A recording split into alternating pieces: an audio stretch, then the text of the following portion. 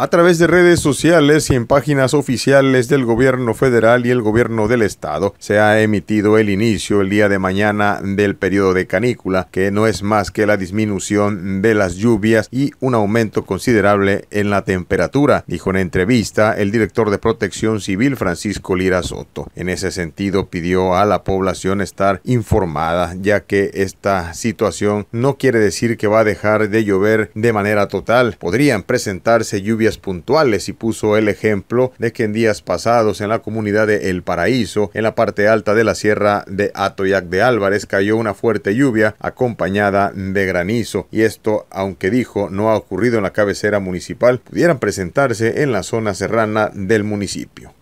Nos han enviado nosotros información y pues esto ya, ya lo sabemos, eh, nuestros familiares eh, saben que pues el fenómeno de la canícula es de 40 días, empieza el día de mañana efectivamente.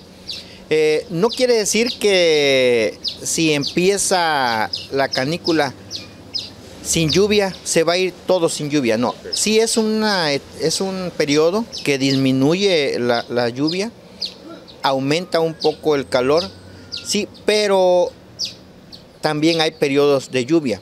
Ahorita tenemos este, un fenómeno frente a las costas, el cual nos está arrojando nubosidad y ha habido lluvias en la parte alta, no así en la parte baja, en lo que es la costera.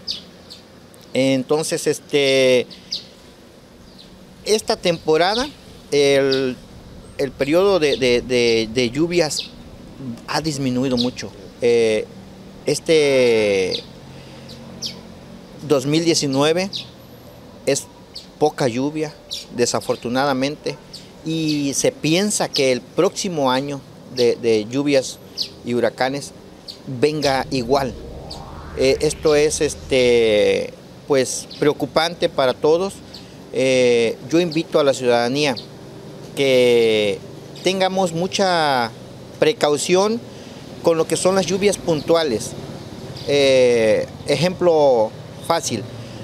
Eh, hace cuatro días una lluvia puntual, inclusive con granizo, afectó lo que es este, la comunidad del paraíso. Hubo granizo, hubo viento, hubo lluvia, eh, hubo daños en, techos. Eh, afortunadamente en el municipio de Tecpan no, hemos tenido lluvias en lo que es la parte alta, pero no lluvias importantes, no nos han hecho afectación.